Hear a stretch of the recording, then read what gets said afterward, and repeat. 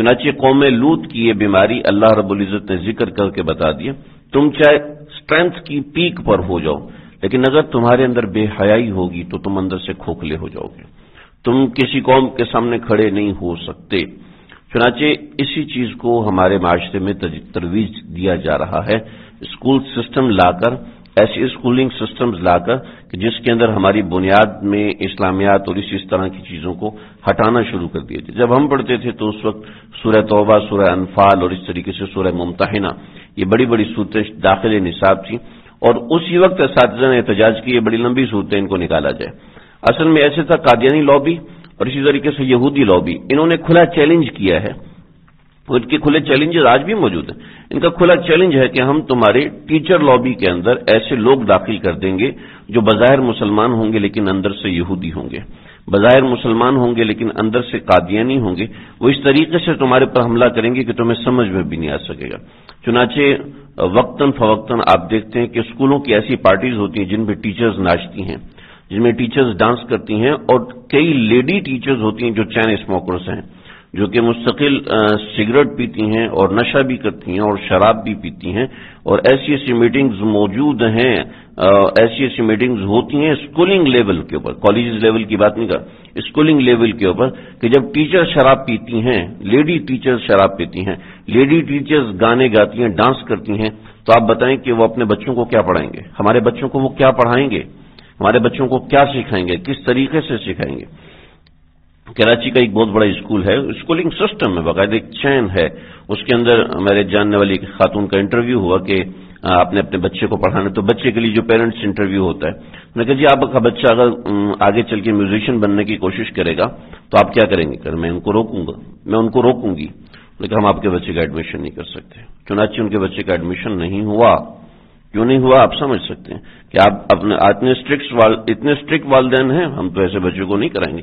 और आप मैंने कराची के स्कूलों की चैन को छान मारा है। आ, कहीं कोई ऐसा स्कूल मिल जाए कि जहाँ बच्चों को कार्टून न दिखाए जाते हों जहाँ बच्चों को म्यूज़िक न सिखाया जाता हो तो अब यकीन कीजिएगा जो भी अपर लेवल के स्कूल्स हैं सिवाय जो दो चार जो मुफ्ती तकी उस्मानी साहब का स्कूल है, इसी तरीके से तबलीगी जमात वालों का स्कूल है, और इसी तरीके से जमात इस्लामी वालों का उस्मान पब्लिक है।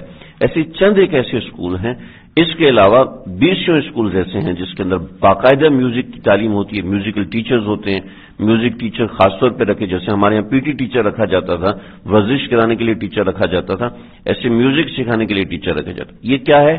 बेहयाई हमारे तालीम का हिस्सा बन चुकी है। बिकन स्कूल के सिस्टम के अंदर आपको ऐसी किताबें मिलेंगी जिसमें सेक्स एजुकेशन छठी, सातवीं की बच्चियों के लिए लाजिम है। जैसे होम इकोनॉमिक्स लाजिम होती थी। तो क्या है? बेहया हमारे माशरे को बनाया जा रहा है। शराब के ज़रिए से, सिगरेट के ज़रिए से, और फिर इसी तरीके से, इन चीज़ों के ज़रिए से। फिर औरत मार्च हो रहा है हमारे मुल्क के अंदर बाकायदगी के साथ, उसको मीडिया प्रमोट कर रही है और जो उसके खिलाफ उठता है, उसको डी वैल्यू किया जाता है। क्यों किया जा रहा है? क्योंकि औरत के लिए मेरा जिसम मेरी मर्ज़ी का मतलब है कि मैं जितने बॉयफ्रेंड पालू मेरी मर्ज़ी है। मेरा अब्बा मुझे रोक, नहीं रोक सकता मेरा भाई मुझे नहीं रोक सकता मेरा शोर मुझे नहीं रोक सकता। और ये तो गुजबैरी हैं हमारे दरमियान यानी कबाब की हड्डी हैं इनको दरमियान में नहीं आना चाहिए। बाकायदा इस चीज़ को प्रमोट किया जा रहा है। और कौन प्रमोट कर रहा है? कौन प्रमोट कर रहा है? मैं और आप बड़े अच्छे तरीके से समझते हैं। हमें ये साबित करने की ज़रूरत नहीं। चुनाचे जिस कौम में बेहयाई होगी वो कौम माशरती तौर पर तबाह हो जाएगी। चाइना ने क्या किया? चाइना ने कहा, जी आप जनाब, जो कुछ करना है करो। फैमिली प्लानिंग बच्चा नहीं होना चाहिए। बच्चा नहीं होना चाहिए। और पिछले साल उनका लॉ पास हुआ है कि खुदा के वास्ते बच्चे पैदा करो। हमारी हमारी 62 परसेंट आबादी सिर्फ़ बूढ़ों की हो गई है। बकिया बकिया हमारे 38 परसेंट लोग जवान रहे। बकिया 62 परसेंट बूढ़े हो चुके हैं। बेहयाई ने वहाँ ऐसी ऐसी लात मारी है। और अब लोग कहते हैं कि हम इंटरेस्टेड नहीं है बच्चे पैदा करने के अंदर। और ये दूसरे जो बड़े जो जी सेवन के ममालिक हैं, इन जी सेवन के ममालिक के अंदर भी कि बूढ़ों की आबादी ज़्यादा होना शुरू की, बच्चों की आबादी कम हो, वो पाकिस्तानी, हिंदुस्तानी और बांग्लादेश वालों को लेकर आ रहे हैं। जिनके ज़्यादा बच्चे होंगे हम उनको स्कॉलरशिप भी देंगे, उनको पैसे भी देंगे, और हमारे मुल्क के अंदर फैमिली प्लानिंग का सामान बढ़ाया जा रहा है कि किसी तरीके से भी यहाँ पर बच्चों की तादाद कम हो, अलबत्त बेहया जितनी बढ़ानी है, बढ़ाएँ। नाइट क्लब्स खुल रहे हैं और दूसरी चीज़ें बन रही हैं और मस्जिद तामीर करने के ऊपर इतनी रिस्ट्रिक्शंस हैं। हमारी मस्जिद की कमेटी वालों से पूछ लो। मस्जिद तामीर में इतनी रिस्ट्रिक्शंस हैं, इतनी पाबंदी हैं। नाइट क्लब कोई मसला ही नहीं। इस तरीके से जो भी क्लब खोलना है, इसके लिए कोई मसला नहीं। हमारी ऊपर बैठी हुई अक्सर लॉबी शराब पीती है। वो कैसे शराब के ऊपर पाबंदी लगाएँगे? उनको शराब की पाबंदी अपने सर पे बोझ महसूस होगी। चुनाची शेख इस्लाम हज़रत मुफ्ती तकी उस्मानी साहब 98 के अंदर जब मुशर्रफ की हुकूमत आई। उस वक्त सुप्रीम कोर्ट के अंदर शरिया शरिया बेंच के ऊपर मुफ्ती तकी उस्मानी साहब थे और उस वक्त से पिटीशन दायर की हुई है सूद की हरमत के ऊपर सुप्रीम कोर्ट का फैसला आ गया। ग्यारह सौ सफात पर मुश्तमिल आज तक पाकिस्तान की तारीख में कोई फैसला नहीं हुआ। इतना तवील फैसला और ऐसा फैसला जिस, जिसके एक लफ्ज के ऊपर कोई एतराज़ नहीं कर सकता। लेकिन उसी उसी, उसके ऊपर यूनाइटेड बैंक ने सिर्फ़ एक पिटिशन दायर की भी हमें हक के एतराज़ है। हक के एतराज़ लगा दिया और उसी सिर्फ़ हक के एतराज़ के ऊपर, आज तक पाकिस्तानी अदालतों में कोई ऐसा मुकदमा नहीं है कि जिसमें हक के एतराज़ के ऊपर मुकदमे को खारिज कर दिया सूद के मुकदमे को खारिज कर दिया गया। तो क्या है कि हमारे हमारे मिजाज के अंदर बेहयाई भरी जा रही है। बताने का मकसद ये कि हम कोई अपने तरीके से नहीं चल रहे, हमें गैरों के इशारे पर चलाया जा रहा है। तो हत्तुल इस बेहयाई के मिजाज को निकालें। ये स्मार्टफ़ोन की कसरत हो जाना और सोशल मीडिया की कसरत हो जाना और इंस्टाग्राम के ऊपर और इस तरीके से टिकटॉक के ऊपर तो शुक्र है पाबंदी लागू हुई। वरना बेहयाई बेहयाई हमारे माशरे के अंदर ऐसे डाली जा रही है जैसे गाड़ी में पेट्रोल है। बगैर म्यूज़िक सुने हमारी क्लासें नहीं शुरू होती बगैर म्यूज़िक सुने हमारी असेंबली पास नहीं होती। आप हज़रत जानते हैं, बच्चों, बचपन में जब आप लोग, हम लोगों ने पढ़ा तो स्कूलों में असेंबली होती थी, बाकायदा तिलावत होती थी, कुरान मजीद पढ़ा जाता था। और अब बाकायदा प्रमोट किया जा रहा है कि असेंबली के अंदर आपको फुला फुला चीज़ और फुला फुला चीज़ आपको इसके साथ ड्रम के साथ पढ़नी पड़ेगी। इसके बगैर गुजारा नहीं, वगैरह वगैरह। इस तरीके से बेशुमार चीज़ें हो रही हैं। अलबत्ता, इस पर मेहनत करने की ज़रूरत है। वलमा भी मेहनत कर रहे हैं। हमें अपने तौर पर मेहनत करनी चाहिए, अपने बच्चों को जितना फ़ोन से दूर रख सकते हैं, जितना इन चीज़ों से दूर रख सकते हैं। तो ये बेहयाई की चीज़ें हैं। बेहयाई है जिसने जिसने आपके माशरे से, हमारे माशरे से सुकून को खत्म किया, दीन को खत्म किया।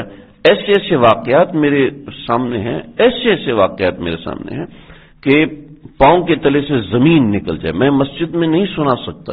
वो ऐसे ऐसे वाकत है कि सात सात आठ साल आठ आठ साल के बच्चे वो छुप के मोबाइल पे वीडियोस बनाते हैं अपने माँ बाप की। मैं क्या, कैसे बताऊँ कि बेहयाई कितनी उरूज पर है हमारे मुल्क के अंदर। उरूज पर लेके जाई जा रही है। ग्यारह ग्यारह बारह बारह साल के बच्चे वो वीडियोस देखते हैं, क्योंकि पहले पाकिस्तान के अंदर आज से चार पाँच साल पहले ऐसी वेबसाइट बैन थी और अब अब उन वेबसाइट्स को खोल दिया गया है कि जो चाहे देखे कि पहले पहले तो आपको कुछ वीपीएन करके करना पड़ता था, लेकिन अब अब कोई रिस्ट्रिक्शन किसी भी तरह के तरीके से नहीं है। आखिर क्या वजह है? कौन सी चीज़ है जो जो हमें इस चीज़ पे मजबूर कर रही है कि हम अपने बच्चों को ये गंद भी दिखाएँ, हम अपनी फैमिली के साथ बैठ कर ये गंद भी देखें।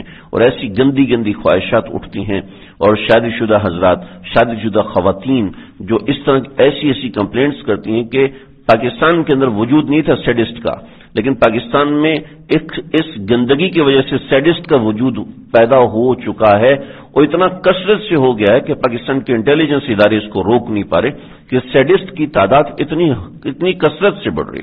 और सेडिस्ट इंसान कब बनता है कि जब वो जब वो गंदगी करने का एडिक्ट हो जाए, फिर वो सेडिस्ट बनता है। कि उसके मिजाज उसको चैन नहीं आता। अब वो चाहता है कि वो सिर्फ़ ये नहीं चाहता कि वो जिना करे शराब पिए जिना देखे शराब देखे उसको इस बात पे चैन नहीं आता। वो चाहता है कि मैं जिना भी करूँ सामने वाले की चीखें भी सुनूं।